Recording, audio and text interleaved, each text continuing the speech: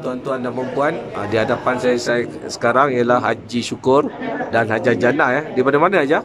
Saya daripada Johor. Johor. Oh, Johor. Daripada Muar tu. Maknanya memang tinggal di Muar eh. Ya. Ya. Okey, tuan-tuan dan puan, kita dengar pengalaman Haji ni dengan Haja ni dan dua kali dah mengikuti uh, apa uh, umrah insaf yang duduk di Azizia ni. Uh, sebenarnya uh, uh, insaf ni merupakan satu uh, tu, uh, apa uh, agensi yang pertama yang saya rasa dapat mengeluarkan 22 hari di uh, Haramain. Jadi dengan cara 22 hari tu kita rasa macam uh, berbaloi dengan harga yang diberikan dengan keadaan kita merasa seronok jadi berbaloi.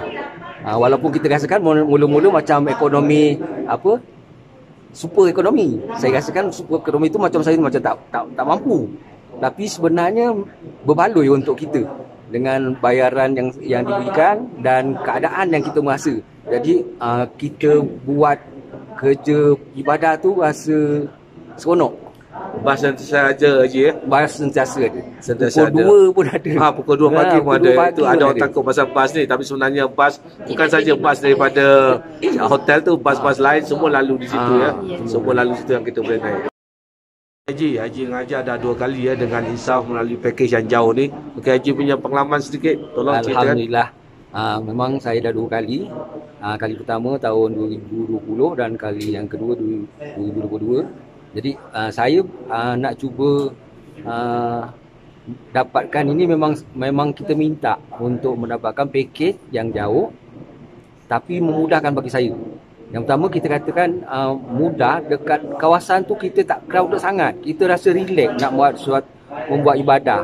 Jadi kita rasa rehat, kita rasa tak le. Uh, jadi uh, sampai 2 minit naik bas, lepas tu turun kita jumpa kawasan Sa'i dan terus kita nampak uh, Kaabah. Jadi itu memudahkan. Jadi pada pandangan Tuan Haji macam mana benda ni apa package ni sebenarnya yang super ekonomi ni. Ini package super ekonomi ni. Super ekonomi. Maknanya semua orang boleh berumrah lama dengan apa dengan insaf lah dengan Alhamdulillah. harga yang baik. Terima kasih Haji membagi peluang saya untuk berkongsi pengalaman. Ya, selama dua tahun saya mengikuti Alhamdulillah.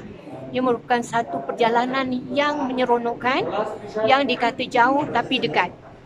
Jauh 1.5 km itu memandangkan seperti jauh. Tapi bila ada transport yang disediakan khas, itu merupakan satu perkara yang memudahkan.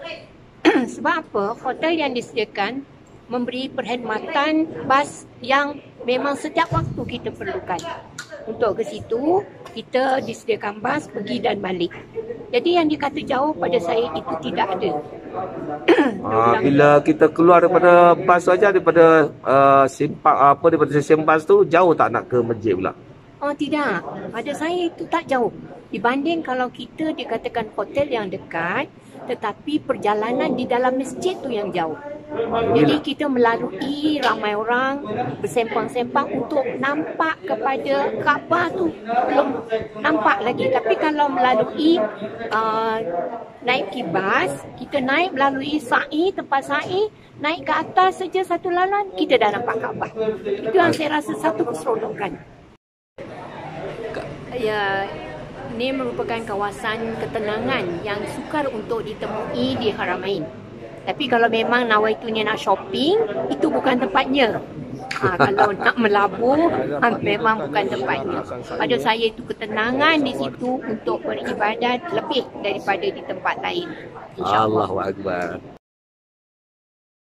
Pengalaman haji ya duduk hotel ni kira ada orang kata memang jauh lah 1.5 km Nama hotel. uh, nama hotel uh, Johara ni tapi bas disediakan sepanjang masa kan Ya. jadi apa pengalaman haji uh, selama 9 malam duduk di Mekah daripada yang hotel yang dikatakan jauh tu nak ke masjid senang tak senang Eh, saya rasa tak ada masalah. Bagi saya tak ada masalah. Alhamdulillah kalau kalau di nah, kalau ada rezeki dan dijemput Tuhan insya-Allah saya pun nak ambil package yang yang tu juga.